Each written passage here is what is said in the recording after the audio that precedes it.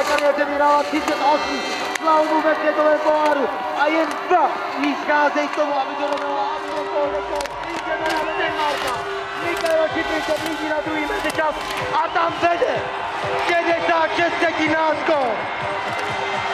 Dámy a pánové, toto je Slobodná královna.